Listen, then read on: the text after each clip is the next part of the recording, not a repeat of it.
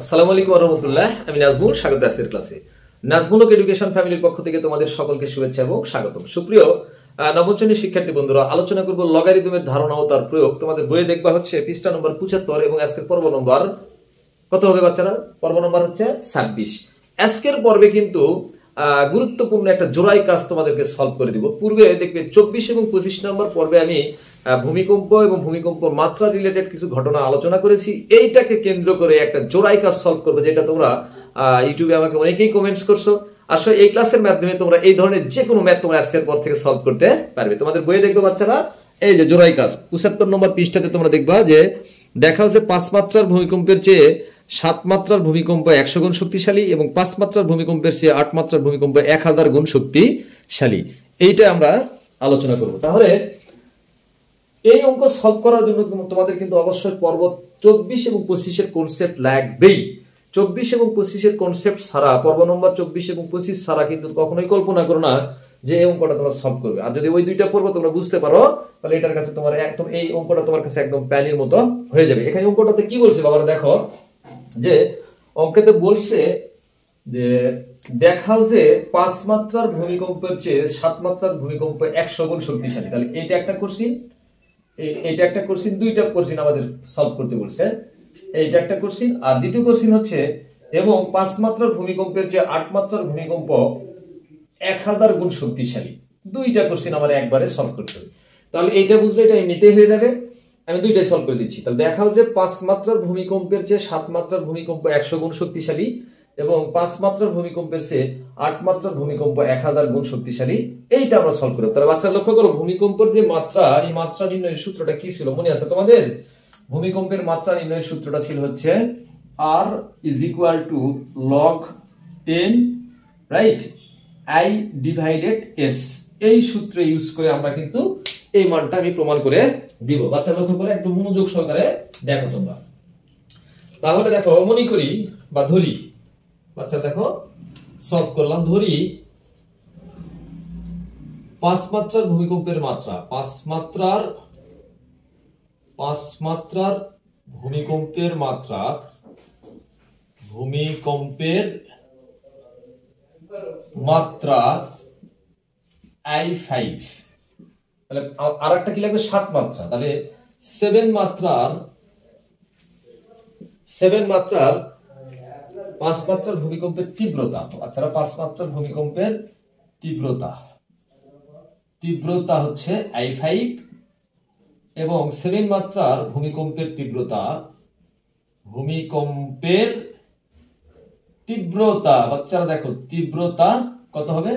I seven right আমাদেরকে কিন্তু প্রমাণ করতে বলছে যে পাঁচ মাত্রার ভূমিকম্পের যে সাত মাত্রার ভূমিকম্প একশো গুণ শক্তিশালী। এটা কোনো ব্যাপারই না তোমরা জাস্ট মনোযোগ সহকারে ক্লাসটি দেখো। রাইট এখন দেখো তো, পাঁচ মাত্রা, এটা হচ্ছে মেইন সূত্র, এটা main equation R is equal to log ten base I divided S তাহলে পাঁচ মাত্রার ভূমিকম্পের জন্য আমরা কি লিখতে পারব? অথে বাচ্চারা দেখো five is equal to log ten base I divided S right I five divided S আশা করি তোমরা বুঝতে পারতেছো আই ফাইভ ডিভাইডেড এস বাচ্চারা। এটাকে আমরা একটু সলভ করে নিই, তাহলে সলভ করলে কি আসে দেখো? সলভ যদি করি আমরা, তাহলে ঠিক এই লগারিদমটাকে আমাকে সূচকের মাধ্যমে প্রকাশ করব। তাহলে সূচকের মাধ্যমে প্রকাশ করলে, এই যে দেখো লগের যে মানটা আছে, পূর্বের ক্লাসে তোমাদের বুঝাইছি। I five divided S equal to ten to the power five এইটা লেখ- লিখতে পারবে। এটা ইকুয়েশন নাম্বার এক। তোমরা অবশ্যই পর্ব নম্বর কত দেখবা? চব্বিশ এবং পঁচিশ। তাহলে পাঁচ মাত্রার ক্ষেত্রে লিখলাম এবং সেভেন মাত্রার ক্ষেত্রে। তাহলে seven is equal to log ten base I seven divided S এটাকে আমরা তখন সূচকের মাধ্যমে প্রকাশ করব। বাবারা দেখো, সূচকের মাধ্যমে যখন প্রকাশ করব তখন কি হবে? I seven I seven divided S is equal to ten to the power seven এটা আমাদের ইকুয়েশন নাম্বার দুই। একদম ভেরি ইজি কোনো টেনশন করার কোনো কারণ নেই। একদম ভেরি ইজি বাচ্চার, লক্ষ্য করো, খুবই সোজা একটা ইকুয়েশন কোনো টেনশন করার কোনো কারণ নেই। তাহলে আমাদের এখন কি করতে হবে? এই যে আমরা পূর্বে চব্বিশ এবং পর্ব পঁচিশ নম্বর পর্ব দেখছি, এই দুই নম্বর সমীকরণকে এক নম্বর সমীকরণ দ্বারা ভাগ। তাহলে কি করব বাচ্চারা, দেখো দুই নম্বর সমীকরণকে দুই নং সমীকরণকে সমীকরণকে এক নং দ্বারা ভাগ। আচ্ছা তাহলে দুই নম্বর সমীকরণকে আমরা কি করব? এক নম্বর সমীকরণ দ্বারা ভাগ। তাহলে দুই নম্বর সমীকরণটা এটা। That is I seven divided S divided এক নম্বর কি? I five divided S equal to ten to the power seven divided ten to the power five বাবারা, বুঝছে তোমরা? এই যে দেখো, এটা দুই নম্বর সমীকরণ, এটা উপরে থাকবে, এটা এক নম্বর সমীকরণ। দেখো, এই যে নিচে থাকবে। আর দুই নম্বর সমীকরণ কি ten to the power seven divided ten to the power five আচ্ছা এখন এটা আমরা যদি ক্যালকুলেশন করি, কি করি আমরা বাবারা? ক্যালকুলেশন যত ক্যালকুলেশনটা আমরা এই পাশের দিকে একটু সলভ করি। যে এটা পরের লাইনটা কি হবে? পরের লাইনটা হবে আই সেভেন ডিভাইডেড এস গুণন S divided I five right S divided I five কারণ কি? এটা উপরে ঠিক থাকবে আর নিচের মানটা উপরে যাবে। আর এটাকে আমরা ভাগ করি ten to the power seven থেকে ten to the power five যদি আমরা মাইনাস করি, তাহলে আমরা পেয়ে যাব হচ্ছে ten to the power two এখন দেখো তোমরা, এই যে এস আর এস কেটে গেল, তাহলে থাকে কত? I seven divided I five is equal to ten to the power two মানে কত বাচ্চারা? একশো রাইট এখন দেখো তো, আমরা কি লিখতে পারব?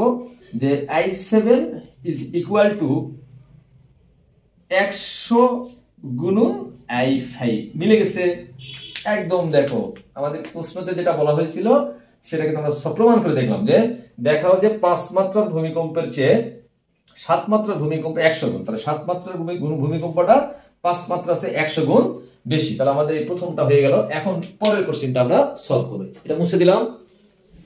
এখন দেখো, দ্বিতীয় কোশ্চিনটা হচ্ছে কি বলছে?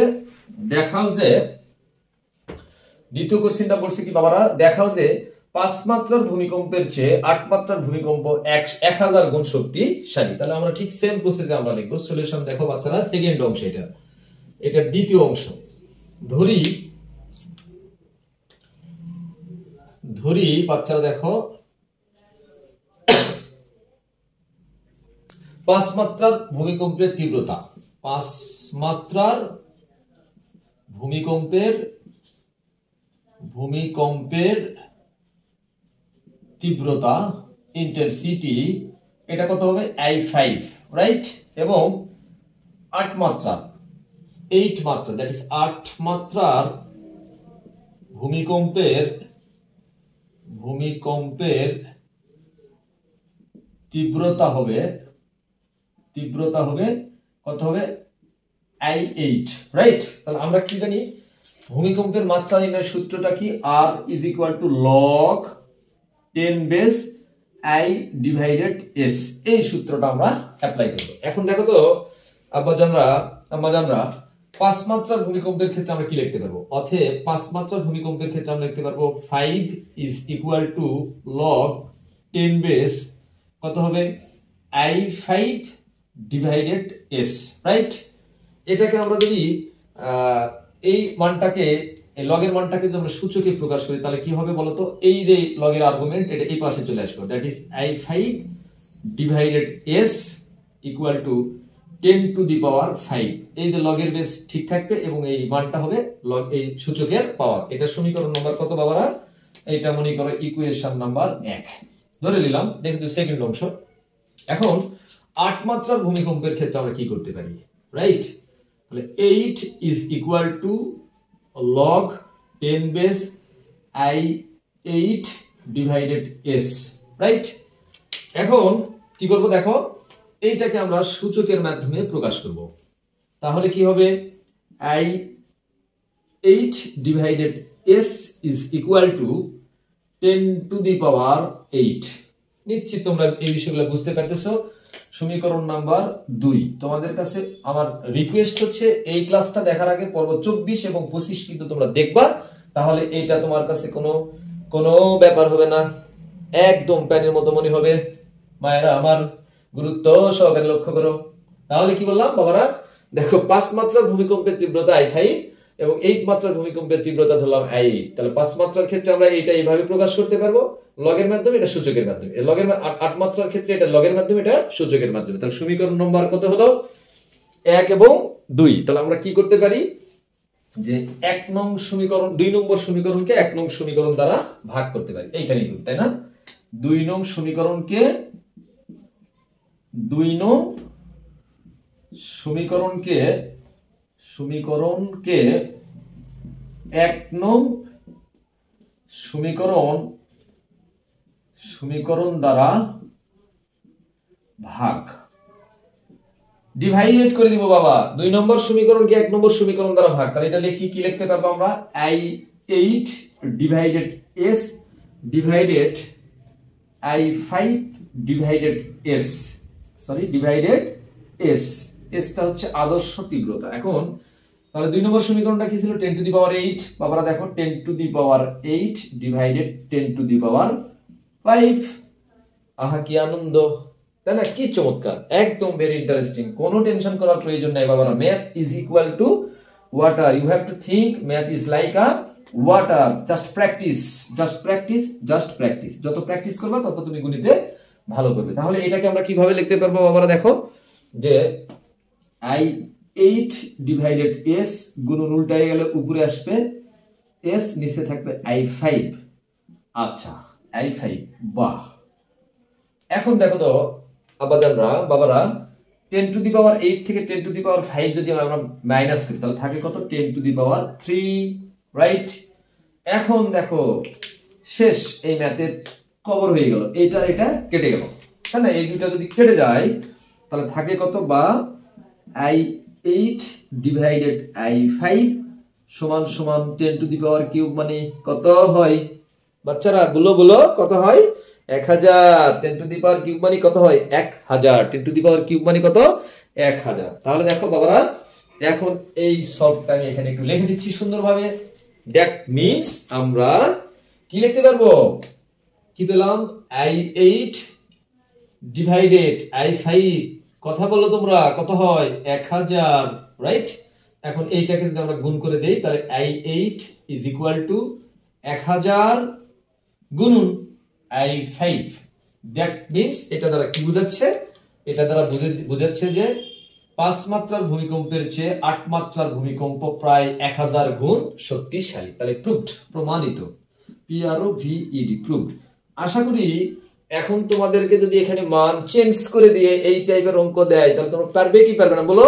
অবশ্যই পারবে। তাহলে এই প্রসেসটা যদি তোমরা ফলো করো হান্ড্রেড পার্সেন্ট পারবে, বাবারা। তাহলে তোমার কাজ হচ্ছে পর্ব নম্বর চব্বিশ এবং পঁচিশ দেখে আসবে। অন্য কেন বলছি এই দুটো পর্বের সাথে এটা খুবই গুরুত্বপূর্ণ একটা রিলেশন আছে।